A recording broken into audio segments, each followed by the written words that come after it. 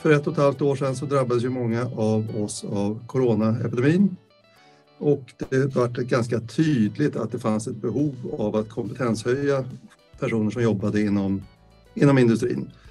Eh, vi fick då möjlighet att ansöka om det projekt som heter Kompetenssäkrad individ som har ett fokus på att underlätta för eh, produktionspersonal i våra medlemsföretag att kompetenshöja sig. Inom projektet har vi valt tre prioriterade grupper. Det innebär inte att det bara är de som kommer i fråga. Det är framförallt då kvinnor som i lägre grad deltar i kompetensutveckling. Det är personer med annan kulturell bakgrund och det är personer som är över 55 år eller med kort eller icke-relevant tidigare utbildning.